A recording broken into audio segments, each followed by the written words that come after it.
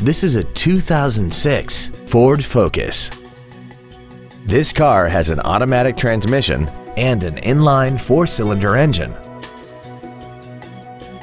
Its top features include air conditioning, a folding second row, a rear window defroster, a CD player, a leather-wrapped steering wheel, a security system, a passenger side airbag, rear seat child-proof door locks, a keyless entry system, and alloy wheels.